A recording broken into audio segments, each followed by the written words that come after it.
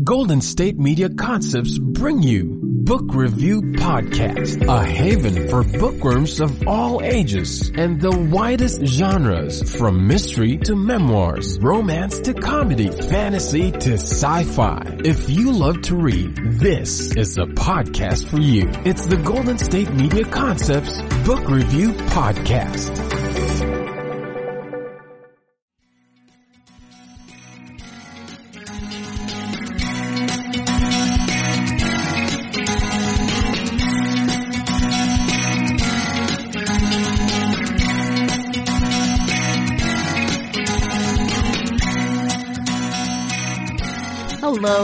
Welcome to the GSMC Book Review Podcast brought to you by the GSMC Podcast Network. I am your host, Sarah, and as always, I am very happy to be with you on this Tuesday for another author interview. I hope you had a great weekend. Uh, my weekend was good. It was really nice here. It was like 20 degrees cooler than it has been. So that was nice because we've been getting up into the right around 100 the uh, a little bit lately and so have, actually it was 30 degrees cooler. It was only in the 70s, 25 to 30, depending on your math. And so it was really nice. I got out, I mowed the lawn, I did some yard work and um, it was a it was a good weekend. So hopefully you were able to do something enjoyable with your weekend as well, whatever that might have been. As I mentioned at the end of the last episode, I do have uh, an interview today with Robert J. Sawyer. I don't quite know what I was thinking when I uh, when I teased this episode because I mentioned that it, the book we're talking about today, The Oppenheimer Alternative, is historical fiction. I just completely skipped over the fact that it's also science fiction. I don't know where my brain was. I guess I was just so excited about historical fiction and I, I spaced out, spaced out, huh? No pun intended on the science fiction part. Um, so yes, the Oppenheimer alternative is in fact both historical fiction and science fiction. How does that work? Well, let's look at the description of the book. While J. Robert Oppenheimer and his Manhattan Project team struggle to develop the A-bomb, Edward Teller wants something even more devastating. A weapon based on nuclear fusion. The mechanism that powers the sun. But Teller's research leads to a terrifying discovery. By the year 2030, the sun will eject its outermost layer, destroying the inner, entire inner solar system, including Earth. After the war ends, Oppenheimer's physicists combine forces with Albert Einstein, computing pioneer John von Neumann, and rocket designer Wernher von Braun. The greatest scientific geniuses from the last century racing against time to save our future. Meticulously researched and replete with real life characters and events, the Oppenheimer Alternative is a breathtaking adventure through both real and alternative history. And that is kind of the interesting part of this book. Again, it's the Oppenheimer Alternative. The author is Robert J. Sawyer. And it starts out as historical fiction. Like I said, I mean, it's, it's all historical fiction because it does have these historical characters in it. But it starts out as kind of your typical historical fiction looking at the Manhattan Project through the personal lenses of the people who were involved in it. And in that way, I eh, very much enjoyed getting to see that part of history through a more personal lens, through, um, you know, less of a textbook lens and more through the personal side. As if you're a regular listener to the podcast, you know that I do very much enjoy the more personal aspect of history, the more you know, the social history as opposed to just facts and figures and dates. So we really get to know some of the key players in the Manhattan Project, but then once this uh, is this discovery happens, when Teller's research leads to this discovery about the sun and the Earth being destroyed by 2030, which it's only 10 years. Good thing the rest of it's science fiction. Let's hope that doesn't actually come true. Um, then that is where we get into the science fiction portion of the book. And we start seeing this team that's put together and it, it's to me it's fascinating because these are real people. And of course historical fiction can often involve real people whether it's a cameo appearance by a real person or whether they have a bigger character or a bigger role. I'm always i'm always amazed when authors take on real people, especially well-known historical figures like Albert Einstein is in this in this novel. And while we may not really know Albert Einstein. We, we all have an image of him in our mind and we probably all have a, a very definite idea of what he may or may not have been like. So to take actual historical figures um, and write a book like this where they are the characters is really fascinating to me. So that is the Oppenheimer alternative by Robert J. Sawyer. Let's go ahead and turn now to the interview so Robert can tell you more about the book and about his inspiration for the story and all of those and all of the usual author authory questions that I like to ask in my interviews. Hi, Robert. Thank you so much for joining me on the podcast. My absolute pleasure, Sarah. Thank you for having me. I am very happy to have you here. We're going to talk about your book, The Oppenheimer Alternative. Uh, before we get to the book, though, if you could share a little bit about yourself, that would be wonderful.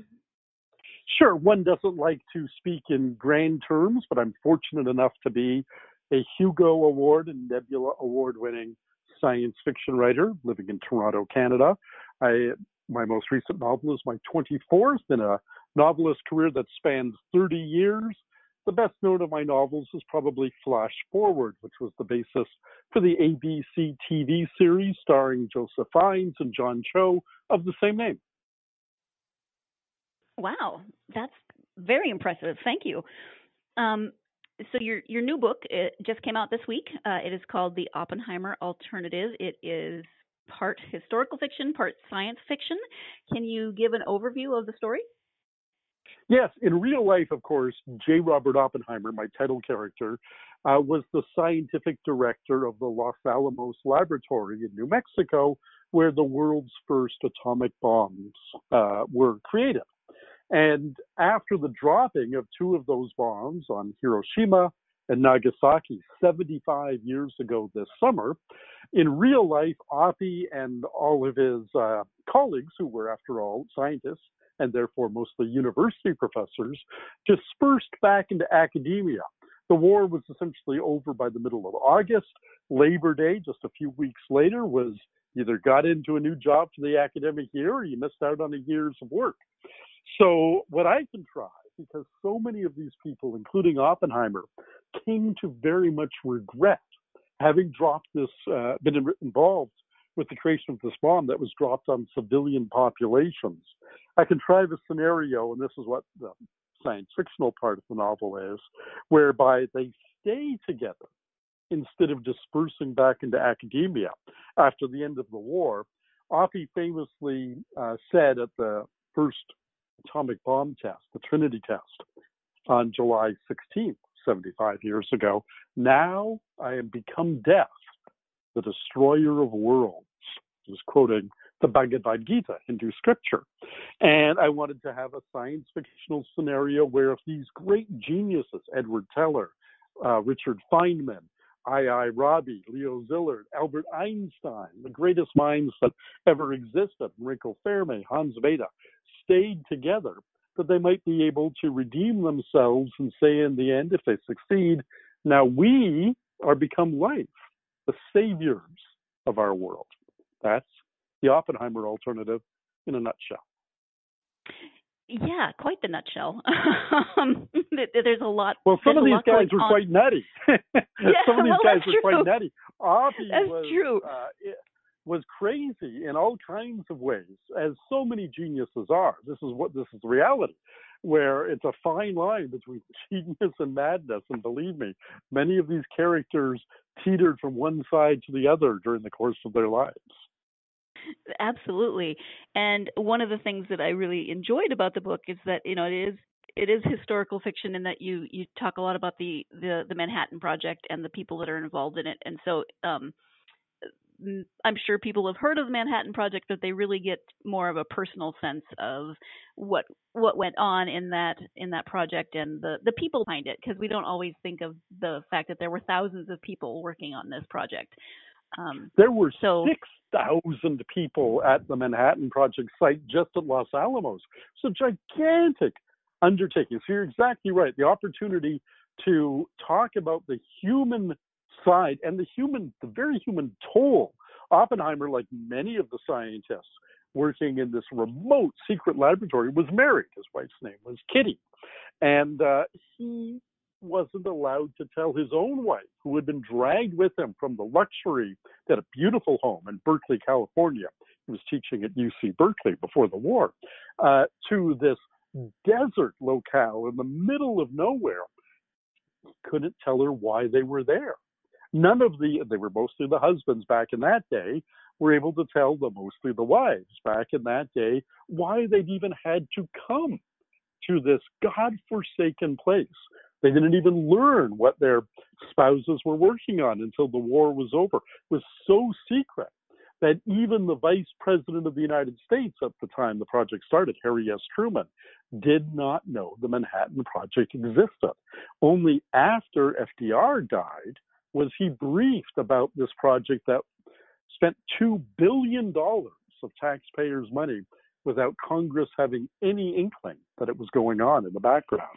So, yeah, there are human stories to be told here, tragic ones, uplifting ones, and that's the joy of writing not just a history, but writing a novel, getting inside the heads of these characters. Uh, which brings me to my next question. So the the first part of the book, the historical fiction part, you you write in the acknowledgments that you had um, you you talked to people, of course, and you had some recordings. So some of the dialogue is actually from recordings of the time. Um, how was it then to switch from the historical fiction part to the science fiction, which is still kind of historical fiction, but to take these real people, because they're all pretty much real people in the book, um, and write them so that they still seemed like the same, you know, the historical figures that people know, but having to make up what their reactions and actions would be in that part of the story. It was an enormous challenge, but that's why I wanted to do this book. Other people had written novels about the Manhattan Project, and mostly they had taken the easy way out. Indeed, there was a TV series called Manhattan, a drama set at the Los Alamos Manhattan Project site. Almost all the characters in that series were fictitious, completely made up. And that's the easy way because then you don't have to worry about anybody gainsaying you. Anybody coming along and say, look, I knew Oppenheimer. He never would have done that. Or I was Edward Teller's uh, grad student, as one of my readers who read the book for me in manuscript was, Dr. Gregory Benford. You know, I, I, you don't want these guys to be able to say you got it wrong. Instead, you want them to say, yeah, if he'd been faced with that hypothetical situation that you have him go on to in the extrapolative part of the novel. Yeah, yeah, that rings true. That's probably what that guy would have done. And to get to that stage, I had to read, of course, for those of them who wrote autobiographies, and that was a great many of them, read their autobiographies. Oppenheimer, the main character, never did, but also, therefore, read all the biographies that have been written about these wonderful guys. One of the ones um, the most famous one, indeed the Pulitzer Prize winning one, about Oppenheimer is called American Prometheus. What a great title. And its co author is Martin J. Sherwin. And I knew I had succeeded at what I set out to do when Martin Sherwin gave me a cover blurb for the book. That's when I knew I, I, I succeeded, succeeded at what I set out to do. And it meant the world to me uh, because I tried really, really hard to capture these voices. I'm going to jump in here so we can go ahead and take our first break of the podcast. When we come back, we will be talking about what it was like to write Einstein as a semi fictional character, you know, a real person, but doing things that Einstein never actually did in real life. So stay tuned. You're listening to the GSMC Book Review Podcast, and I will be right back. Golden State Media Concepts bring you the Bible Study Podcast. Reflect and journey the Bible as together we study God's Word and be inspired. Bible study made fun and informative for all ages. It's the Golden State Media Concepts Bible Study Podcast.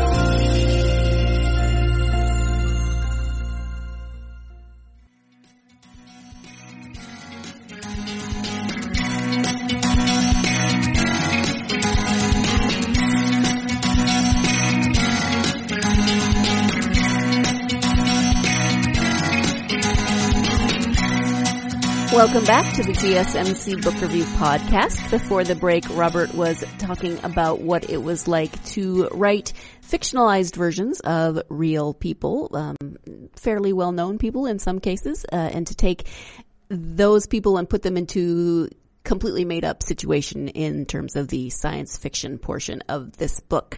So now we're going to talk a little bit more about that in relation to Albert Einstein. Let's go ahead and turn back to that interview. Yeah, and it's not just um, the scientists on the Manhattan Project, but also um, Albert Einstein joins the crew later on, and That's so right. you know, absolutely. really Oppie and famous Einstein people. were and Einstein were great friends after the war. After the war, Oppenheimer's next job, he had been a professor at University of California, Berkeley, didn't want to go back there. Uh, and he got offered a job to be director of a real life place, the Institute for Advanced Study in Princeton, New Jersey. It still exists. And it's just the ultimate pure research think tank where uh, great minds come to think, but they don't have to teach. They don't even have to publish. They just have to think. Albert Einstein had been there since the founding, and Oppie was brought in as the director of the institute. Einstein was one of the faculty there. Uh, so yes, Einstein, what a character! I mean, these are larger than life characters. You know, if I'd made up Oppenheimer, Einstein, or Edward Teller, who is commonly taken as the uh, model for the character of Dr. Strangelove in the film Dr. Strangelove, which is a satire. If I had made up these characters, people, oh, come on, Sawyer, those guys are over the top. But they really existed. And to get to write about them was an absolute gift to me as a novelist. This is slightly off topic, but I'm trying to picture myself in the situation of um, now I'm the director of some place where Einstein is on faculty. um, Yeah. No thanks, I'm gonna be terrified. So when they were hunting for new director, the old director had simply announced that he was going to retire. He'd served his years. He was going to retire, take his pension. Uh, his name was Aydelotte. And uh, so they're looking for a new director. And, and Einstein said, what is required for the job? Who is a very quiet man who doesn't talk too much, so he won't disturb those of us who are thinking. It's enormously daunting to work to be responsible for the place where Einstein has chosen to spend his days. And one of my favorite scenes uh, writing in the novel, and it is one of the fictional ones, is General Groves, who was the military head of the Manhattan Project, Leo Szilard, who was the scientist who first envisioned nuclear fission chain reactions, and it was a huge thorn in uh, in uh, Groves' side, and Robert Oppenheimer ending up in a shouting match in a corridor at, at, uh, at the Institute for Advanced Study. And the one guy who they all have to just obey comes out of his office, Herr Dr. Einstein. And everybody has to just shut the F up when Einstein says, You guys are interfering with my work. It was such a I'm trying joy to to get to write those characters. That's right. What are you doing? Come on, man. I'm, I'm a thinking. I'm a thinking. right. Wow. I mean, just I mean, just thinking about the those four people in a hallway together is pretty amazing, um, considering their roles in history. So I, I know you had to do a lot of research in terms of the historical aspects. What kinds of research did you do for the science fiction aspects of the book? Well, so the science fictional question is Earth is facing an existential crisis. There's a threat to the entire existence of the planet. For, so the first part was doing all kinds of research to try and come up with a plausible scenario that they could have figured out with 1945 science. There are all kinds of things we look at today. What if a black hole happens to, uh, you know, come into our solar system? Uh, we don't know what dark matter is or dark energy is, but things related to that, they're all interesting things to talk about three quarters of a century later.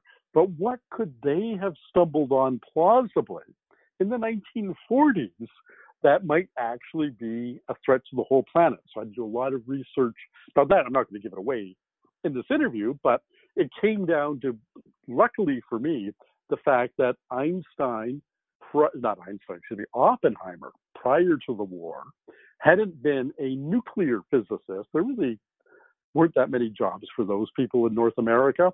At the time, he was an astrophysicist. His research, in fact, was what gave rise to the modern notion of black holes. He did that before the war. And so to be able to do due diligence as a science fiction writer and uncover a possible threat that really could face the planet based on real anomalies and what we know in the scientific record that tied into the fact that Einstein, excuse me again, that Oppenheimer, uh, who was an Einstein in his own right intellectually, he said covering for his own gaffe here, that Oppenheimer, uh, that grew naturally out of Oppenheimer's research was part of that process. And are you yourself a, a scientist? Are you trained in that? I, I'm always interested to know how much how much you need to know to write science fiction, or how much you need to understand in order to write science fiction. Right. So those are two very different questions. Do you have to be a scientist? Uh, and I'm not. The only science I studied post secondarily was uh, some psychology and sociology. My degree is actually in broadcasting. That said, do you have to be a scientist to understand science? No. Do you have to be an athlete to understand sports? No. There are all kinds of people who are experts. They're sports journalists or expert uh, in another way. They're professional sports gamblers who have absolutely studied and learned all about and comprehend every nuance of how the game is played and the quirks and personalities of who is actually playing it. And I'm in that latter camp. I'm not a scientist by any stretch of the imagination, a rational thinker and a logical man, and all else, but not a scientist. Nobody's ever paid me to do science, and I don't have. I have two honorary doctorates, but I don't have an advanced degree earned in the sciences. But I am to the sciences what a sports journalist is to professional athletics. I'm the guy who really bends over backwards to hear what's going on, understand what it means, and sometimes expose the parts that the professionals would wish to kind of gloss over. No scientist wants to dwell on his or her mistakes. The job of a science fiction writer is to look deeply and profoundly at the societal ramifications of what it is that scientists are doing, uh, often with very little in the way of government oversight. To give an example, in the Manhattan Project, they really thought at the first there was a really good chance that the first time they set off an atomic bomb, they might actually ignite the atmosphere of Earth and destroy the planet. Oh, Did Congress do a vote on whether they should continue? Was there a plebiscite of not just the people of the United States, but the whole planet? about whether the experiment was worth conducting. No, ultimately, Oppenheimer asked a few people, uh, ran a couple of uh, mathematical checks of his own, and said, it's probably less than a one in a hundred chance that that's going to happen. And so they did it. Now, how many gambles on the entire existence of our entire, not just the human race, but all life on this planet, would you be willing to take if somebody said the odds are a hundred to one. You know, that's not very long odds. You want a thousand, ten thousand. You want essentially nil when you're playing that game. But scientists very often, the modern parallel is the researchers in artificial intelligence.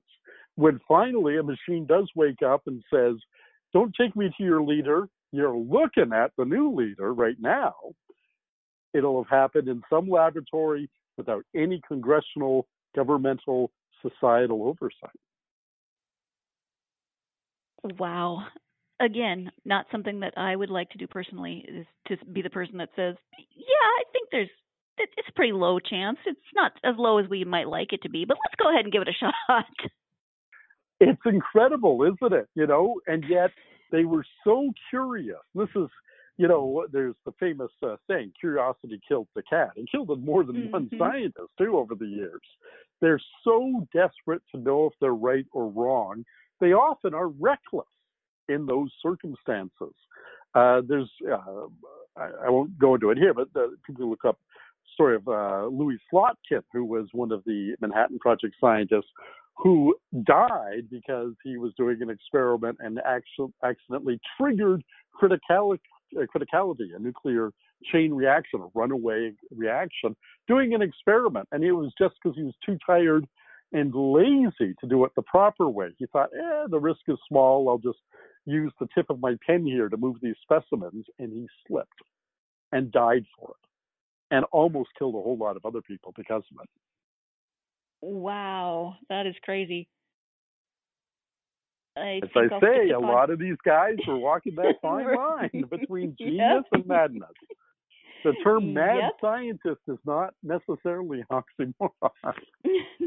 no, I think maybe I'll stick to podcasting. I've never come close to killing anyone or myself. Well, you know what? And and I uh, maybe am too cautious the other way. I don't drive. I'm a notoriously clumsy individual. I knock things over all the time. And I figure as long as I stay away from being behind the wheel of a car, the chances of me being responsible for somebody's death is virtually nil. Whereas because I'm clumsy and I have uh, a hand-eye coordination difficulty that I've had since childhood, I get behind a car and I have every good intention of swerving to miss the little kid who's run out in front of me, and I go the wrong way or don't swerve enough, and somebody is dead. So yeah, you know, we all find our own level of acceptability of what risk we'll take, not just for ourselves, which of course we have every right to. You know, we want to skydive or climb Mount Everest, then go ahead, more power to you. But how we provide safeguards against putting other people at risk. That's the real measure of one's character. Right. Yeah. On a different note, there are two different covers for this book. So Yeah. how come? So I have two different print publishers. I have one in the United States and one in Canada. It's not a new arrangement for me. I've been doing that for 10 years now. But uh, they happen to be two different new publishers for this particular book. And the American publisher came and asked to see the book when I was on offer to publishers. Um, Arc Manor is the name of the publisher, Rockville, Maryland, just at Washington, outside Washington, D.C. Uh, and they actually are Robert A. Heinlein's publisher, the great uh, current publisher of the great American science fiction writer, long since dead, but they're the principal publisher of his older titles. And there's a newly discovered or recently unearthed Heinlein manuscript called The um, Pursuit of the Pankera. They published the new Heinlein. They created a new imprint, indeed, for the new Heinlein, and they wanted me, my book to be the second book in that imprint. Well, it's a science fiction imprint. And they wanted me because I was a Hugo and Nebula Award winning, well known science fiction writers. So they wanted a cover that was very science fictional. And on the cover, there's a picture of Oppenheimer the scientist, a Project Orion atomic bomb propelled rocket ship, and the planet Mars and a spacescape. Very science fictional cover. The Canadian publisher, a very prestigious literary publisher in Canada, who has had multiple uh, nominees and winners for Canada's top literary award, the Governor General's Award, was askance when they saw the American cover and said, no, no, no, no, that will never do here when we're presenting you as one of the leading Canadian literature authors. So we had to start over from scratch, and a spectacular designer named Avery Olive of Bibliofic Designs was enlisted to completely re envision the book to look like a mainstream fiction title. She studied what modern mainstream Canadian literature, and for that matter, American mainstream bestsellers looked like, and came up with a design that was true to the book with a silhouette of Oppenheimer and a cool design that emulates to some degree the famous doomsday clock that the Bulletin of the Atomic Scientist sets uh, periodically to show how near or far we are from Armageddon, and an atom, uh, the standard symbol people know of, of an atom with electrons orbiting around a nucleus, and it does perfectly for that market. So basically, two different market thrusts meant two completely different covers. Fascinating.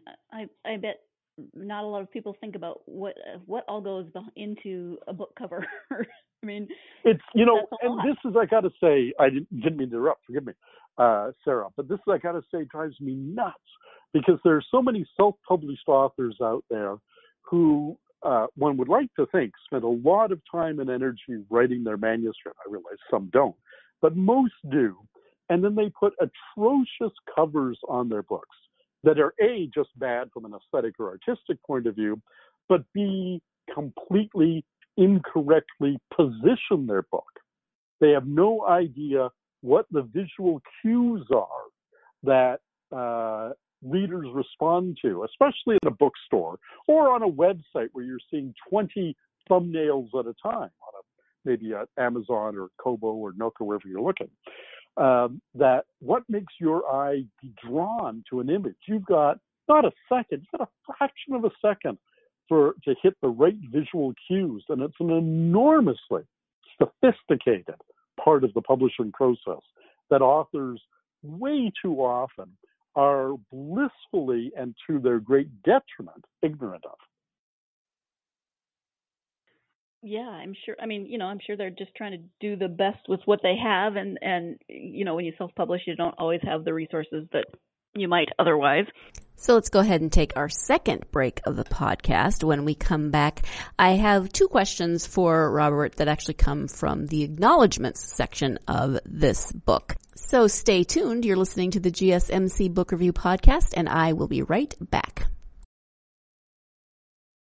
Tired of searching the vast jungle of podcasts? Now listen close and hear this out.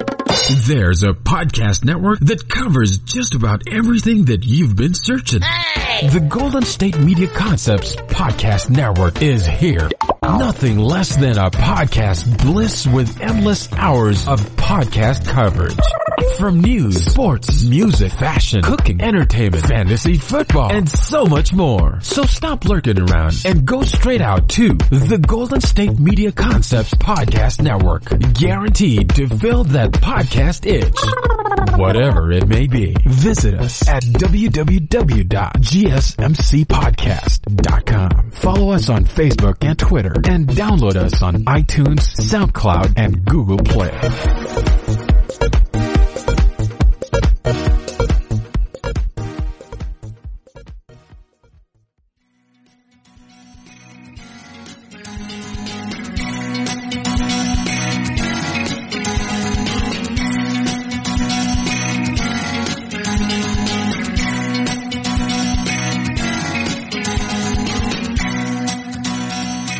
Welcome back to the GSMC Book Review Podcast and my interview with Robert J. Sawyer about his new book, The Oppenheimer Alternative.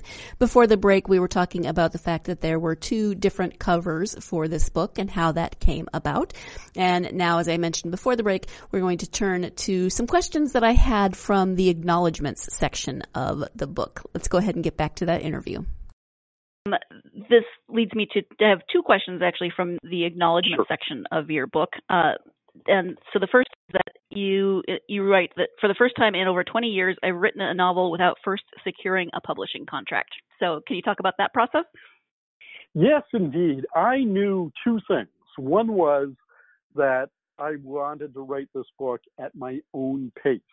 I had done my first 20 odd novels at the pace of a book a year. And then, very tragically, in fact, as you and I talk today, it's the seventh anniversary of the death of my younger brother by lung cancer. He was diagnosed with cancer, had a nine month battle, and during that battle, I had a deadline. And I had to say to my American publisher, Ace Science Fiction at the time, my Canadian publisher, Penguin Random House at the time, my two wonderful editors there, Ginger and Adrienne, and say, I ain't going to make the deadline. I'm so sorry. I'm just I'm messed up. My brother is dying, and even after he's dead, I don't know when I'm going to be able to get this thing done. And to mm-hmm. their wonderful credit, they both lovely people said to me, "You always meet your deadlines, no problem. When you publish, when you're ready, we'll publish it the best we can possibly can." And I found, in this most tragic way of discovering it, if there was any uh, small, minuscule benefit of it, that I actually quite enjoyed writing a book without a deadline pressure. Not because it let me work less, but it let me work more. I took four years creating the Oppenheimer alternative. No commercial publisher is going to give you a contract with an advance that has a delivery date four years in the future. And so I said, well, I'm going to do it without. And you mentioned the acknowledgments. You're alluding to the fact that I uh, set up a Patreon account. Patreon is a social media website devoted to letting uh, readers support writers or fans support musicians or whoever your creative uh, audience is support you as a creator. People sign up and make a very small monthly donation in most cases on my own Patreon page. Everything is accessible for three dollars a month. Some people, is at whatever level you want. Some people uh, charge much higher. Some people, um, you know, do, do different things. But for three dollars a month, and there are lesser tiers available as well. Everything I put up on Patreon and exclusively only on Patreon is available to my Patreon fans.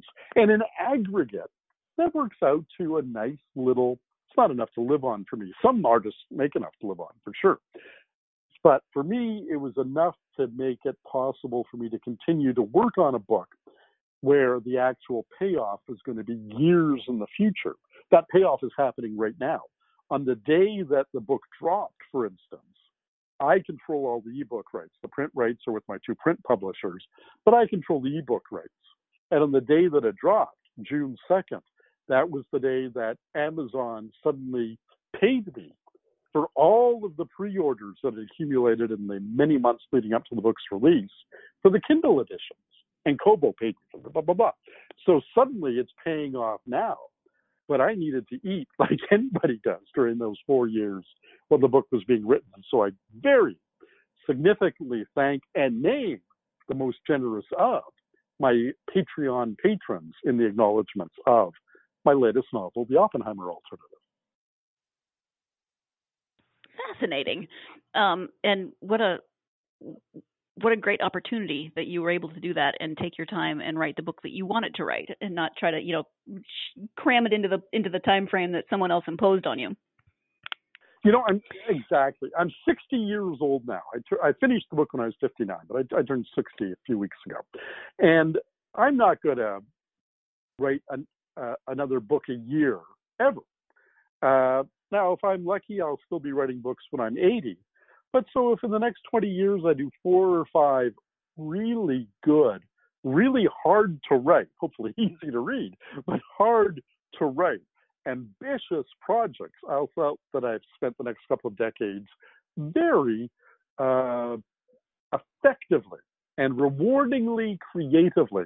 And at this point in my life, I don't want to make it sound like I'm hat in hand begging on the street. I'm certainly not.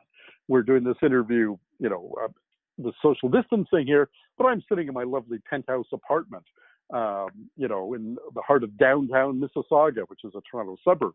Um, you know, I'm comfortable. There's no question about that. But I hope to never have to A, write anything ever again just for the money, or B, at some kind of breakneck pace where quality might suffer. Absolutely. Um, so then my second question from your acknowledgments is actually your first acknowledgement, which is special thanks to the late Manhattan Project physicist and Nobel laureate um, Luis W. Alvarez, who graciously spent an afternoon with me in 1983, a meeting I'll never forget. Uh, 1983 was not an insignificant amount of time ago. so I was. I um, told you I was 60. I was 23 in 1983. And I was what, begin, before I made a living as a science fiction writer. I still made a good living uh, as a nonfiction writer. I spent my 20s after graduating with my degree. I spent my 20s mostly as a freelance magazine uh, and newspaper journalist, writing for some of the top uh, magazines in Canada, newspapers in Canada, and some glossy newsstand magazines in the sciences that you would know, Sky and Telescope, archaeology, and so forth. Are newsstands everywhere. Um, I approached Luis Alvarez uh, because at that time he was in the news. He, his son Walter, and a couple of other scientists had cracked the biggest mystery in life sciences and paleontology um, ever, which is what caused the extinction of the dinosaurs. They were the ones that had figured out, based on geochemical signatures in rocks, uh, the abundance of iridium uh, in a certain layer of rocks that dated to the age of uh, the dinosaur extinctions, that an asteroid had hit the planet. And even before, we've subsequently found the crater of that asteroid. It's just half on, half off the Gulf of Mexico. Uh, but um, at the time, they were able to prove geochemically, because of the abundance of iridium, which is common in asteroids but not common at all on Earth, found at that time that an asteroid must have hit. And my great interest was, and still is, scientifically, yes, what's my favorite science? It's paleontology, the study of ancient life. So I went to see Alvarez to do an article about that topic. But of course, you're talking to one of the Manhattan Project scientists. Of course, that came up. But the notion of a 23 year old sitting there and having a Nobel laureate, one of the guys recognized as one of the great geniuses of uh, his field of endeavor, just chatting amiably with me for an afternoon was one of the best afternoons of my life. Subsequently, I've gotten to know uh, a number of other Nobel laureates. As you know, science fiction writers, we tend to get to rub shoulders with some very, very nice people. But the I never lost my fascination with Nobelists, as they're called, and uh, to get to write about so many of them in the Oppenheimer alternative really did grow out. My desire to write about them really did grow out at that meeting when I was 23 years old with Luis W. Alvarez. That is really cool. I, I feel like you were kind of fated then. You you had to write this book at some point. you know, it's exactly right. Uh, authors uh, should never ask, "What's the market looking for?" The guys who fail, they're always ones. What's hot right now? I, I teach science fiction writing. So what's hot? What should I be writing? I hear cyberpunk isn't hot anymore and steampunk is on. What, what should I write? And I say, pay no attention. You look inside yourself and find the things that you are passionate about. That's the book to write. Anything else is just trying to pretend. You know, I can dress up uh, in BDSM gear and go to a club. It ain't my scene, man. No matter what, I ain't going to fit in and I ain't going to enjoy it. Whereas other people will have the time of their lives. Write your stories. Don't ask what's popular, what's hot, what who can I cater to, who isn't me. Ask what do I want to write? What book do I desperately want to read that isn't on the shelves yet? And then go write that book. Thank you. That actually fits into the question that I normally ask about advice for other writers, and that's that's a good one. Um, Follow your passion. Follow your passion. Absolutely. Indeed, follow your passion. On that note, I think we will take another quick break. You can contemplate um, following your passion during this brief commercial break. When we come back, we'll be talking about what Robert is working on now. So stay tuned. You're listening to the GSMC Book Review Podcast, and I will be right back. Golden State Media Concepts Sci-Fi Podcast. Together we dive into the world of sci-fi and science fiction. From episodes of Star Trek, Star Wars, to The Walking Dead, Resident Evil, all the hot new science fiction movies from the backdoors of Marvel or DC. The Golden State Media Concepts Sci-Fi Podcast. You'll never look at science fiction the same way again.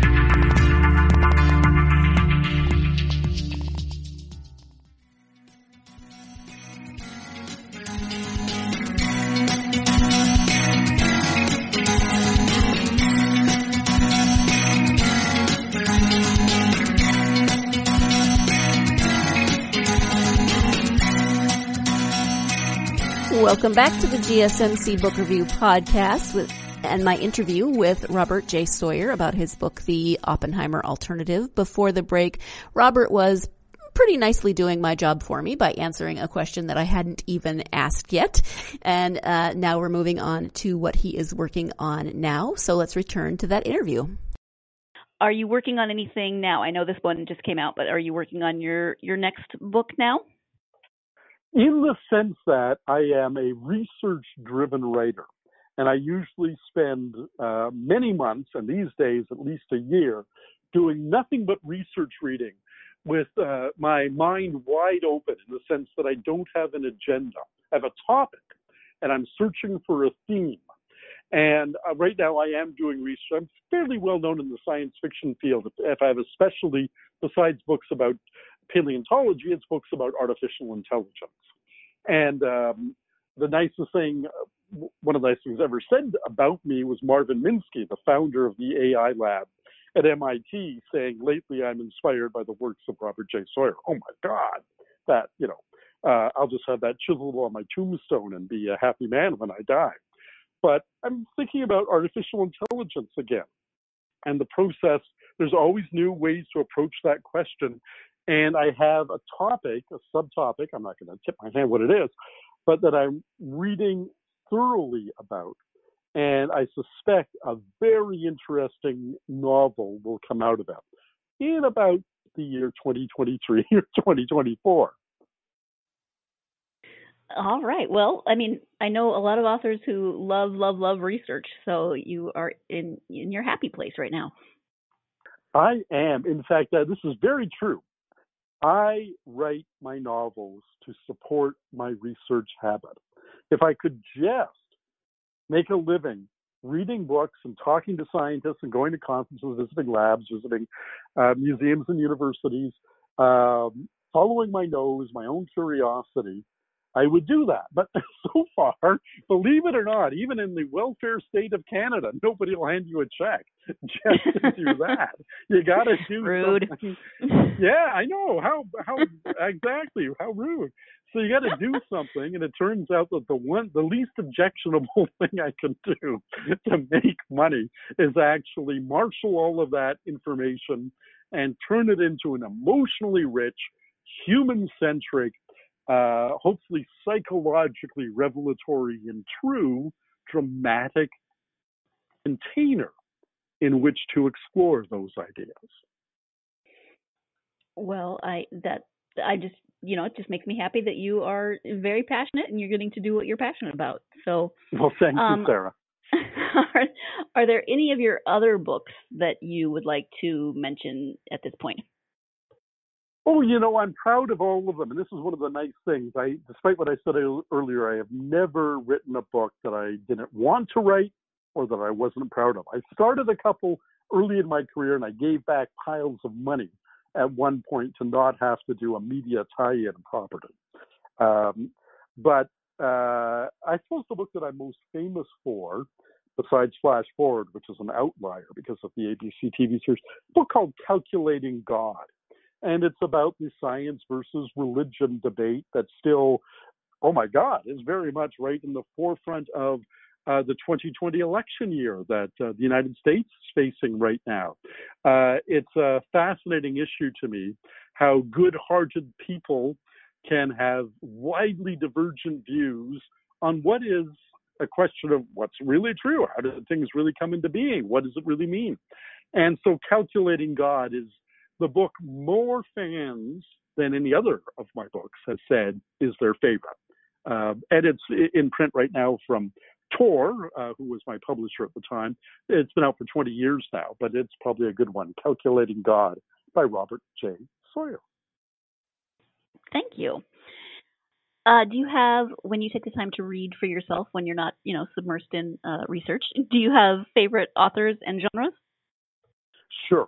Uh, I read some science fiction because you got to keep up with what your own field is doing, and of course, some of my very best friends, uh, like Robert Charles Wilson, a very fine science fiction writer. I've always, I'm always up to date on Bob's uh, latest output, for instance. But uh, I also read for pleasure uh, mystery fiction.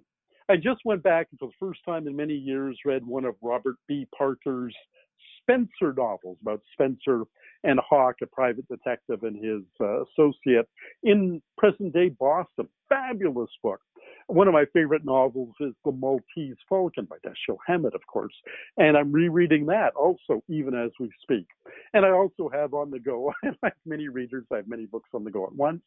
Uh, last year's number one best selling novel in the United States, which also happens to be a mystery, among other things, where the crawdads sing. Uh, and I'm enjoying these all immensely. There's a real similarity between science fiction and mystery. Both prize the process of inductive reasoning, of picking up clues, of extrapolating from evidence, of rational thought, of trying to outguess what the writer is uh, is doing on the page and figure out what the ending is going to be before you get there. Um, I have a great affinity for and a lot of my actual my novels actually cross over many of them. Most uh, probably significantly, Illegal Alien, which is a courtroom drama with an extraterrestrial defendant, and Red Planet Blues, which is a hard-boiled detective novel set on Mars. Many of my novels cross over into mystery fiction, and that's one of my favorite genres. Nice, thank you for that. Um, I know you have a website, so if you could uh, share your website as well as where people might be able to interact with you on social media, if you're active on social media. This is the 25th anniversary of my website. I was the first science fiction writer in the world to have a website, and so I got a great wow. address for it. It is, yes, it is sfwriter.com. S is in science, F as in fiction, writer.com. And on uh, social media, the three that I'm active on are Facebook, Twitter, and Patreon. And at all three of them, my name is just my writing byline, all concatenated together, no spaces, no punctuation. Robert J. Sawyer. Thank you for that. We have talked about um, quite a few different topics today, but is there anything that we haven't covered that you would like to bring up at this point? Yeah, because we're in a crisis right now. You and I are having to, and everybody are in lockdown and social distance and so forth. And the book publishing industry, and particularly the book selling industry, is a fragile entity. Find your local bookstore. I bet even if they're closed to people coming in and browsing, they're doing mail order or curbside pickup. Many, many independent bookstores are doing that across the world right now. And if they are open, go in and buy a book. Doesn't have to be mine, buy any book. Keep these cultural institutions, these these purveyors of ideas, mirth, and uh, excitement in business. They've suffered horribly, and I, every one of us uh, who loves books should be buying as many books as they can afford in these economically difficult times from their local independent bookshop. Absolutely. I completely agree with that. So thank you for that. And thank you so much for taking the time to speak to me today, not only about the Oppenheimer alternative, but um, you know all of my random science questions and uh, everything else. I really appreciate it. An absolute pleasure, Sarah. Thank you so much for having me on. Thank you again to Robert for joining me to talk about his novel, The Oppenheimer Alternative. If you're a fan of historical fiction, if you're a fan of science fiction, if you're a fan of books that combine the two, if you are interested in um, the Manhattan Project, I mean, there's so many reasons to check out this book. You should definitely give it a, a shot and check it out. I mean, it just came out last week, so um, put it on your to be read list. Check it out from your local bookstore. I mean, buy it from your local bookstore. You know what I mean? I don't mean check it out like a library. Um, but yeah, get a copy, read it, enjoy, all that good stuff. Thank you so much as I said to Robert, thank you as always to you, my listeners. I so very much appreciate you. I hope that I don't say that too much, but I'm not going to stop because I do appreciate you. If you are a fan of this podcast and you would like to help us out, please do give us a, a nice review, whether that's written or five star. It really helps us to get this podcast out to more people like you who love books or people who like awkward hosts who ask weird questions to authors. Um, either way, we'd love to get this podcast out to more listeners. You can also follow us on social media, Facebook, Twitter, Instagram, GSMC Book Review. Interact. Uh, let me know what you think about the interviews. Let me know what you're reading. Let me know how things are going for you. All those good things. I love to hear from listeners. So hit me up on social media. As I said, Facebook, Twitter, and Instagram. It's GSMC Book Review. Hope you are having a great week so far, that um, your Monday and your Tuesday have gone well, and I hope that you have a good week left in store for you in the next few days. Please join me for the next episode of the GSMC Book Review podcast. But in the meantime, I hope that you have plenty of time to get yourself lost in a good book. Thanks. You've been listening to the Golden State Media Concepts Book Review Podcast. Part of the Golden State Media Concepts Podcast Network. You can find this show and others like it at www.gsmcpodcast.com. Download our podcast on iTunes, Stitcher, SoundCloud, and Google Play. Just type in GSMC to find all the shows from the Golden State Media Concepts Podcast Network. From movies to music, from sports to entertainment, and even weird news. You can also follow us on Twitter and on Facebook. Thank you, and we hope you have enjoyed today's program.